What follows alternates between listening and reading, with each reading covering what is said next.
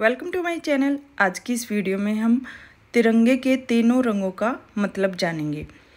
तो तिरंगे में तीन रंग होते हैं, सबसे ऊपर केसरिया, बीच में सफ़ेद और सबसे नीचे हरा। तो केसरिया रंग त्याग और बलिदान का प्रतीक होता है।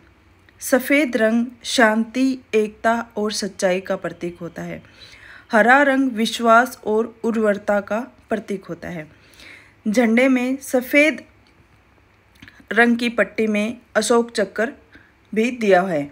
तो इस अशोक चक्कर का मतलब है, नीला जो रंग है अशोक चक्कर का, उसका मतलब है कि जो आकाश, महासागर और सार्वभौमिक सत्य को यह दर्शाता है। और अशोक चक्र में जो चौबीस तिलियाँ हैं, वो मनुष्य के लिए बनाए गए चौबीस धर्म मार्ग को दर्शाती हैं।